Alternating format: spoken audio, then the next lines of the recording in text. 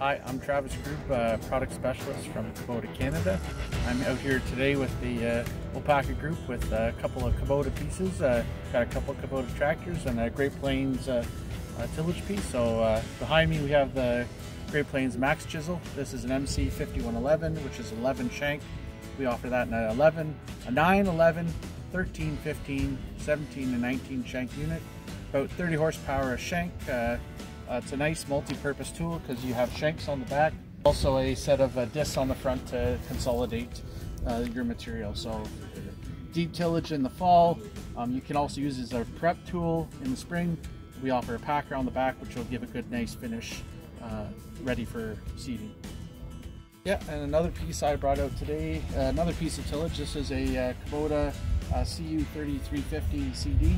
It's a disc and chisel uh, slash cultivator. Um, it's a good uh, primary and secondary tool. You can run it about 12 inches deep in this in the fall, take out those ruts, those compaction, and then in the springtime you can throw a wider point on and run it as cultivator, you know, one to two inches shallow. So it's a nice uh, versatile tool. So along with the two tillage pieces that we brought out today for the Opaca event, we also brought uh, the new Kubota M8. Uh, this one's a 200 horsepower. Uh, there's also a 180 horsepower version. Uh, this one equipped with the loader. You can get it without the loader. Uh, all sorts of tire options. Uh, if you're interested in demoing one, reach out to your local Kubota dealer and they'll gladly line you up.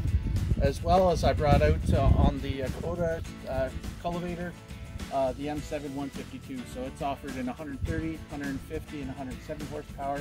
This particular one's a deluxe rancher model um, lots of hydraulic flow, great loader tractor, uh, very well-rounded tractor for every operation. So um, all in all, I'd like to thank Opaca for uh, having us out here and uh, have a great day.